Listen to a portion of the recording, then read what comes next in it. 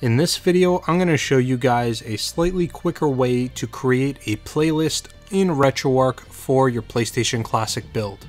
This is Steve from Restalgia, and let's get started.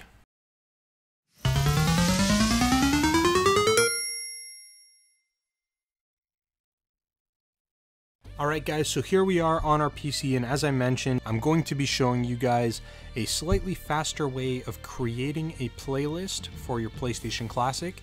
Now this will come in handy especially after we've done our Auto Bleem release, uh, the latest 0.7 build, and how we can now integrate our playlist from RetroArch into the Evolution UI uh, user interface. So this is just going to make that process a little bit quicker if you haven't. Uh, the reason why I'm doing this is because the scan feature on the PlayStation Classic can take quite a while. Uh, downloading thumbnails, all those sort of things can take a little bit of time, and sometimes the servers aren't super fast, so this might speed things up just a little bit. So in order to do this, what we're going to need first and foremost is we're going to need RetroArch installed on our PC. It's not difficult to do that. All you got to do is hop onto your web browser and just do a Google search for RetroArch and just download the appropriate version for your computer. Uh, you're either going to be using a 64-bit or you're going to be using a 32-bit version. Uh, in my case, I've got the 64-bit and I've already got that installed on my computer. I'm going to go ahead and open up RetroArch. Now, while that's opening up, I do want to make note that uh, the default area where it wants to install RetroArch, you're going to want to leave everything the way it is. Don't change the pathway folders, don't change anything. Just let RetroArch install exactly where its default settings want it to be installed. And I will show you how to access any of the information that we need and how to locate those files um, because they're not going to be located in your program files. So we've got our RetroArch installed on our PC. Everything is looking fantastic. Uh, so what we need to do in this case, first and foremost, is we need to download the cores which are going to be uh, associated with whatever playlist we're going to be creating. So in this case, we just have to scroll on down to Online Updater. Now, because RetroArch is connected on our computer, it is connected to the network, you can download all your cores right from within RetroArch. It's super quick, super easy, uh, makes things much easier, and it's uh, something that I'm really looking forward to seeing um, getting the ability to somehow connect wirelessly on our PlayStation Classics. I don't know what's happening and I don't want to say anything, but I'm really hoping that's a feature that's going to be coming our way relatively soon. So, no, I'm not the only person who feels that way. Uh, lots of people do. But what we need to do is go into our online updater and then we need to go into our core updater and it's going to go ahead and download the index so that way we can see all the available cores uh, that we can choose from. Uh, as you can see, there's a bunch. So, for example, if you're going to be doing an arcade build, it's got the CPS ones, it's got the CPS2 emulator, it's got a Neo Geo emulator, it's got everything that you could possibly want.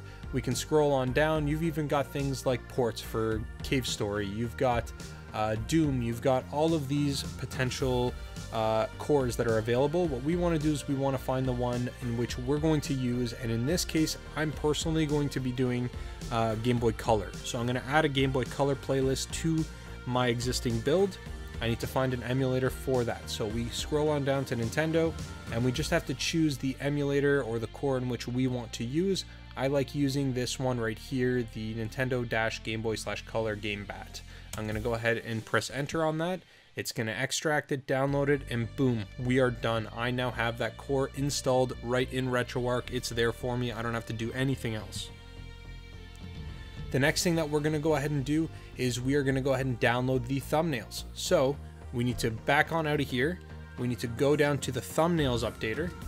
We're going to scroll on down and find the console in which we want to get our uh, thumbnails from. So we need to scroll down to Nintendo Game Boy Color.zip.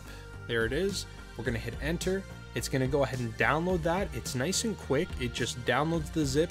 And not only does it do that, but it'll, it'll extract it for us. It'll put it in the proper file.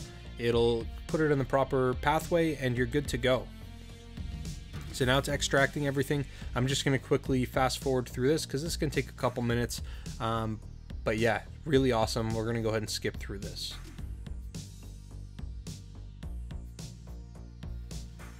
Excellent. So now that that's done, that's perfect. We don't want to do anything else in RetroArch just yet. What we need to do is we need to make sure that we've got uh, the all the ROMs that we want, all the games that we want on our Auto Bleem or on our Bleem Sync build, whatever it is you happen to be using. For the purposes of this video, I am using my Auto Bleem build, uh, so I'm just going to go ahead and pull those folders up. Uh, I've got my Auto Bleem build right here. If I can bring it over, there it is. And I've got uh, my ROMs folder as well that I'm going to be transferring from right here. Perfect. So as you can see, I've got all of my Game Boy Color ROMs.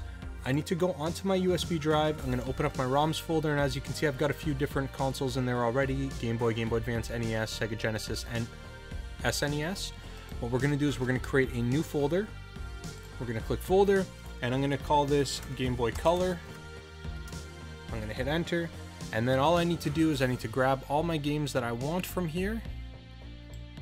I'm to scroll all the way down to the bottom, select them all. I'm gonna copy them over into this folder here. I'm gonna let it transfer in, so this will take just about uh, 10 to 15 seconds. We're just gonna quickly skip through this. Perfect, so now that we have all of our games on there, we're gonna go ahead and close the folder that had the games or wherever our directory is where we keep our ROMs, close that, our Auto Bleem build now has our Game Boy Color games in it, so I can actually go ahead and minimize this because we don't need it at this point in time. Now what we need to do is we need to create this playlist. So we've got our thumbnails, we've got our core, we've got everything that we're gonna need. Now we need to scan the directory. So we're just gonna scroll on back. We're gonna go back just like you would on the PlayStation Classic. You're gonna go over to the scan directory. We're gonna hit X we're going to go to the drive in which it's sitting. So my uh, Auto Bleem build is currently in my iDrive. I'm going to hit enter there. Then I've just got to go to my ROMs folder. Then I've just got to go and select my Game Boy Color folder. And then right from here, I can scan this directory. If I hit enter, it's going to go ahead and scan everything. Now, as you're going to see, it does scan substantially quicker than if you were to scan it on your PlayStation Classic. This will probably take 25% of the time that it takes on your PlayStation Classic, maybe even less. Uh, it is substantially quicker, especially if you're going to be doing a large load of them. Now, there is another method in which you can use. For example, if you're going to be using CD, uh, Sega CD, for example, or some other CD based consoles on your RetroArch build or on your Auto Bleem build, they don't work really well with the scanner. Same with arcades, they do not work well with the scanner. There is another method in which to do that, and I am not going to make a video about it. I'll leave some links in the description to a couple people who will. I think Patton Plays is going to be doing a video on it, uh, and there's another YouTuber as well, uh, a much smaller YouTuber who's done a video on it. I'll leave links to those in the description down below if you guys are interested in making some playlist for uh, the CD-based consoles. It's not difficult. Uh, essentially, what you're going to do is you're just going to go into your Windows button here. You're going to toggle to desktop menu, and you're going to be building them right within. You're going to be building them right here. So you right click, you create new playlist. You have to enter a specific name for the console. You hit OK, and then you just select your directory, and it'll find it from there. But like I said, in this video, I'm not going to be doing that. I'm just going to be focusing on the RetroArch style uh, right from within the app. So that's it for that. We've scanned that directory. Now what we're going to do is we're going to go back and what we're probably going to notice is that there is a Game Boy Color uh, option here. Here it is. All the games are created. All the, not all of the games have uh, the images there, but most of them do. If it couldn't find something, you're going to end up with a couple games uh, that aren't able to match.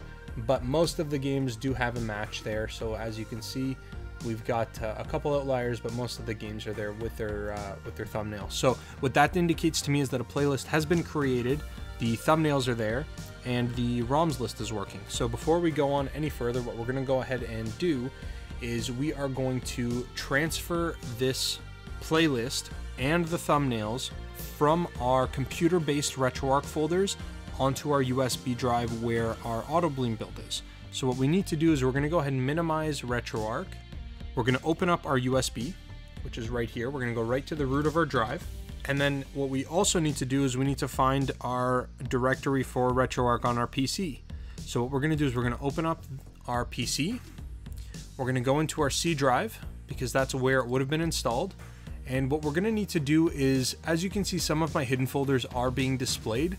If your hidden files do not get displayed, you just have to go into view and you just have to check this hidden items here.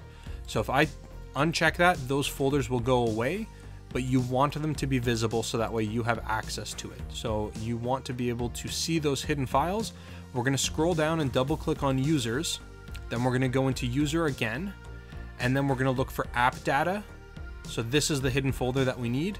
We're going to double click on app data. We're going to go to roaming. We're going to scroll down and we're going to find RetroArch. And this should look familiar to you guys. So I'm going to make this a little bit bigger. So I'm going to make them both full screen. So this should look familiar. This is all the different files that we've been working with in the past. You've got our thumbnails folder, we've got our cores folder, we've got configs, cheats, assets, info, all that information is here. And it should look the same as when we double click on the RetroArch folder on our AutoBleem build. As you can see, we've got our assets, auto config, cheats, con all, all those things are all there. So what we need to do, we need to go into our playlist, which is right here, and we need to locate to make sure that our Game Boy Color playlist is there. So it is. Now another thing that we're going to need for this is we're going to need the program called Notepad++. This is absolutely important. If you don't have it, I'll leave a link in the description down below. But download Notepad++ because we are going to have to make some edits to this config file in order for it to work properly on the PlayStation Classic. So we're going to go ahead and edit that with Notepad++. It's going to pop up, and this will look a little bit intimidating, but believe me, it is not intimidating. So we've got all this information here. It is going to essentially indicate what games are, where they're located, what they should be connected with, what image file they should be connected with. All those sort of things are there. Totally fine. The problem is that the directories are not complete.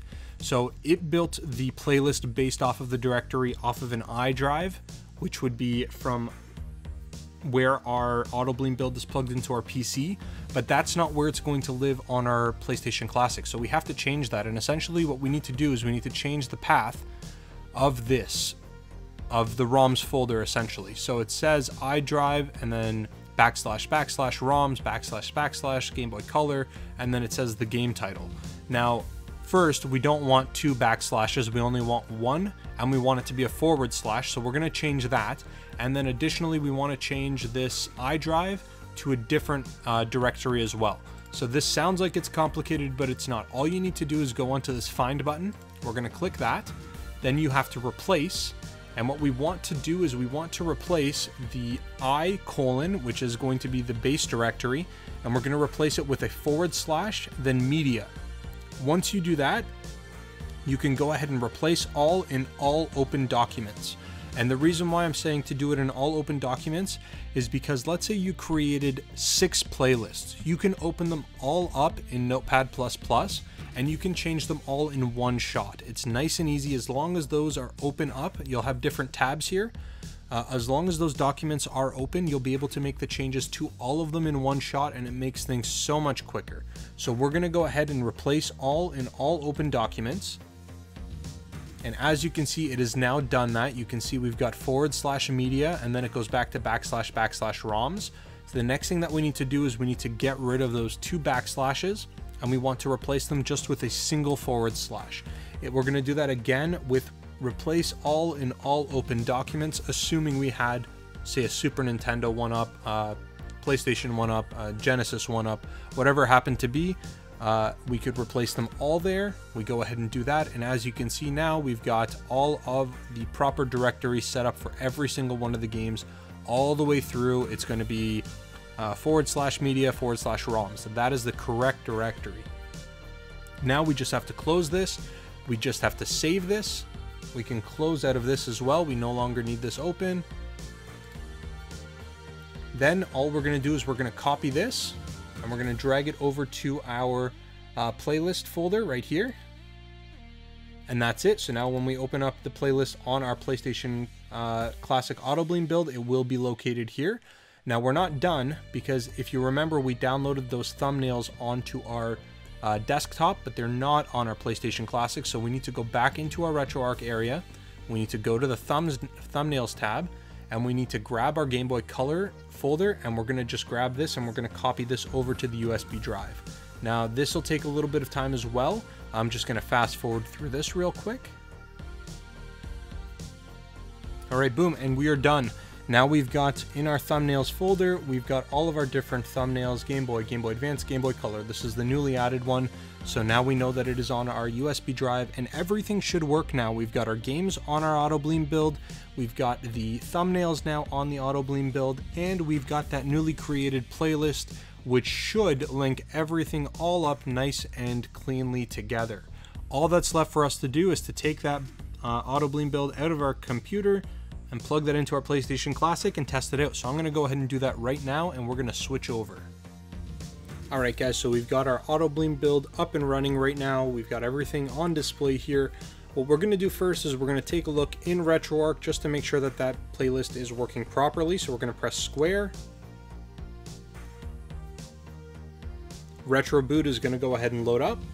And then we're to take a look at our playlists. And as you can see, Game Boy Advance, Game Boy Color, which is what we were hoping for. Beautiful, it is there. We've got our Game Boy, NES, uh, SNES, Genesis, and our PlayStation. So we know that it's there. We're going to go ahead and back out. We're going to quit RetroArch. We're going to jump right into Auto Bleem. And again, we're going to press L2 and select. And now you can see Game Boy Color is available for selection. We're going to go ahead and press X on that. And now you can see all of our Game Boy Color games are displayed. I mentioned earlier that there are a few games that don't have the artwork. Now this is something that you can go ahead and tweak. You can remove the games, whatever you want to do. The games still play fine, but this is what it'll display. So it'll show a little retro boot logo saying, hey, there's no image here. It's just kind of like a placeholder. As you can see, the name of the game is up on the top and then the retro uh, arc logos right in the middle with a black kind of casing there. That's what you're going to get for any games that don't actually have matching artwork. Uh, so you can either go in and fix that and try to find the artwork and then load it in there and and change the config files or if you're okay to just remove the game if it's not a game you're going to play or whatever it happens to be uh, or you can just leave it the way it is and if you're fine with that that's fine too. So just wanted to show you guys that but yeah this is pretty much it. So now that is the easiest way that I think to get your playlists loaded up from your computer onto your PlayStation Classic. Again, the reason why it's going to be quicker is once you start getting into a large volume of games, the scanning feature on the PlayStation Classic takes absolutely forever. You could sit there for literally hours to do a thousand games. If you got an entire playlist of Super Nintendo games, you're going to be there for like three hours. It's brutal. So this is a much faster way to do it. You can build your playlists in under five minutes and you can do multiple playlists. So if you want to do uh, NES, Super Nintendo, Game Boy, Game Boy Color, Genesis, Arcade, whatever it happens to be all at one shot, it'll take you like five minutes to create those playlists. It'll take you two or three minutes to edit the playlist, and then it'll take you as much time as it would have taken you anyways to transfer those uh, playlists over and the um, and the thumbnail artwork. So that's pretty much it for this, guys. I hope it speeds things up for you. I hope it makes this a little bit easier for you, and that you guys uh, you guys are able to get things up and running quickly. If you guys have any questions, as always, leave them in the comments section below. I do my best to try to get back to everybody as quickly as I can. Be sure to subscribe to the channel, give the video a thumbs up, and I will talk to you guys again on the next one.